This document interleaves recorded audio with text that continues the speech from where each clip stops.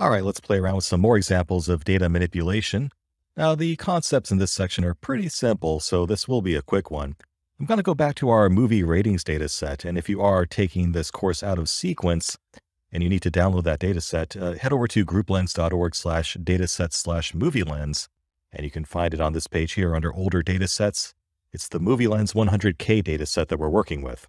After you extract the resulting ml-100k.zip file, you'll find a u.item file, and we've renamed that to movies.csv. So that kind of sets the stage here.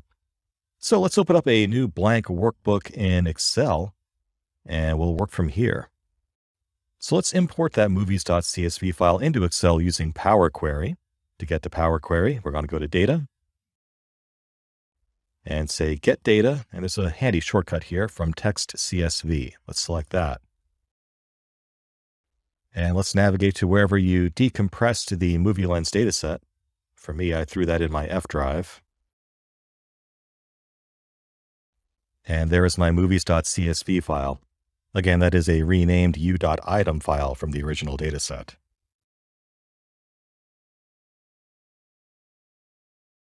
So it appears Power Query uh, recognized the data format. That's good. And it did split it up into the correct columns, but we do need to give those columns names. We may as well do that as part of the ETL process. So I'll click on Transform Data. And the first column is the movie ID. The second column is the title with the release date. Third column is the release date.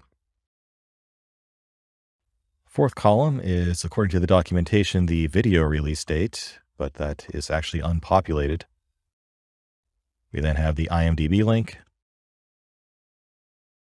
And then we have a bunch of columns that represent what genres that movie belongs to. And since I don't want to waste your time watching me uh, enter all those genre names, we're just going to delete those columns later on.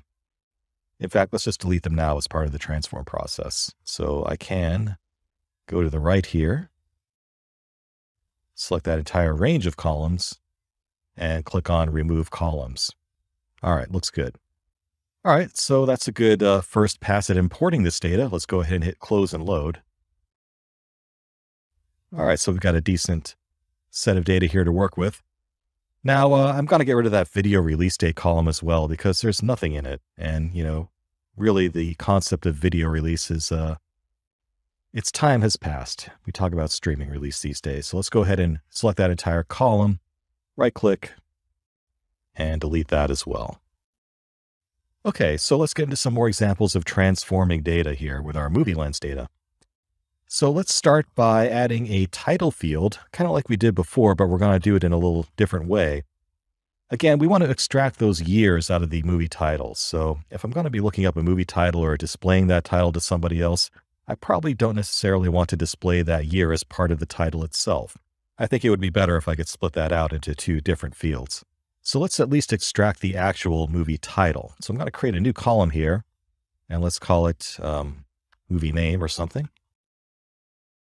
And I'm going to use an expression here to just extract the beginning of that. So the way I'm going to do that is using the knowledge that the last six characters in the title will always represent the year enclosed by parentheses. So I can assume that every year consists of four digits, and the open and close parentheses consist of two more. So if I just strip off the last six characters of every movie name, I should be left with the actual movie name without the year attached to it. So here's one way of doing that. I can say equals left, open parenthesis, select the original title, and that will come in as a at sign title comma, len, open parenthesis, again clicking on the movie title field, close parenthesis, minus 6, close parenthesis. So what's going on here? So I'm going to compute the overall length of that movie title, subtract 6 from it to get rid of that year at the end, and take the leftmost number of those characters to be just left with the movie title itself. Let's hit enter and see if it works. Sure enough, it did. And, you know, if you really want to be pedantic, uh, there's an extra space between the title and the name. So we probably could have gone with seven instead of six there, but we at least have something displayable that makes sense. So instead of Toy Story 1995, we now just have Toy Story. So that was an example of text processing and parsing strings. That's something we talked about in this section. Let's also add the release month. And one way of doing that would be by extracting that from the release date. So these release dates have a year, month, and day. I can just extract the month from that and display it as a month name like January or February, whatever it might be. So this is going to be an example of date processing, which we also discussed briefly in this section. Again, very simple concept. Let's uh, expand this column just so it looks a little bit nicer and move over a little bit. So let's add another column here, and we're going to call this one release month. And for this, we're going to say equals text, open parenthesis. We're going to click on the release date from that column, which comes in as at release date. And then comma, quote, MMM, end quote, and parenthesis. So what's going on here? The text function is basically a way of processing dates that I can reformat that date into whatever format I want. So it's going to say, take the release date in its full form that contains the month, day, and year, and just reformat that using the MMM key. That means that I want to just show the month in a three character format. So for example, January would be J-A-N, February would be F-E-B, March would be M-A-R, et cetera, et cetera. Let's go ahead and hit enter and see if it works. Cool, it did. So we have successfully extracted the release month from the release date. So that might be interesting, right? If I'm doing some sort of analysis that looks at seasonality and summer blockbusters and behavior surrounding what time of year a movie came out, that might be an interesting thing to have handy there, the release month. What else can we do? Well, let's actually define what a summer blockbuster is. So let's go a little bit further and actually add a field that defines whether or not this was considered to be a summer movie or not. So let's say we have another column here. Let's call it Is Summer Film. I'll leave off the term blockbuster because hmm, not every film released in the summer actually does well. so let's do a more complicated query here. We're going to say if the release month was between, say, June and August, we'll consider that a summer release. And if not, we'll say it's not. So all we want to have in this column are yeses or nos. Is it a summer release or not? And we can do that with an if function. So this is going to be an example of a logical function and conditional data. Okay, we talked about that in this section as well. Equals if. And month. And we will select that release date field again. Close parenthesis. Greater than 5, meaning more than May, June or later, comma, Again, month, open parenthesis, select the release date field, close parenthesis, less than 9, meaning less than September, close parenthesis. So what do we have so far? We're taking a look at the month twice here, and we're putting it inside an AND clause. So we're saying if the month is greater than 5 and the month is less than 9, we're going to do something. What is that something? So comma, quote, why?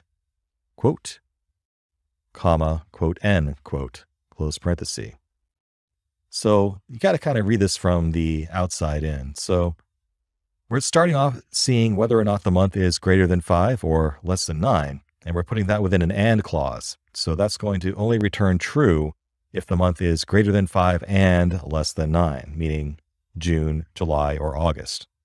If that is true, if that is the case, that's what that if clause is doing, then we will put a Y in this field Otherwise, we will say n. So let's see if it works. Let's hit enter.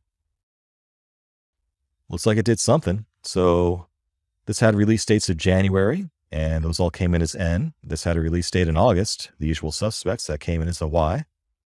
Bunch of Januaries and Februaries and Marches. Um, not a whole lot, actually, in the summer, interestingly enough. So I kind of suspect there's a data quality issue here because there's an awful lot of January releases in here. I think for films where they just don't have data about the exact release date and they only had the year, they just put in January 1st. So that might be another exercise in data cleaning there or something else we might want to check for. So maybe as an exercise for the reader, if you will, uh, you might want to further check if the date and month is one and one, in which case you might want to just put uh, undetermined or something. Like, I don't know when that actually came out. But assuming that that data was legitimate, it does seem to be doing the right thing. Uh, here's another summer release, uh, Moll Flanders. Never even heard of that one. Uh, we won't talk about that. Uh, Lone Star, the cable guy. Hey, this one I, I heard about. So The Godfather did not come out in the summer. Oh, well, we don't know because that just says 1 1. So I think they just don't have data for that. Wow. Yeah. Data can be complicated, right? But the concept there of a logical function and conditional data is what we're illustrating here. And the uh, data cleanliness issues are a separate concern. So let's also do an example of aggregation. Let's actually count up the total number of movies that we have. That should be pretty easy to do. Let's just go off to the side here and say equals count.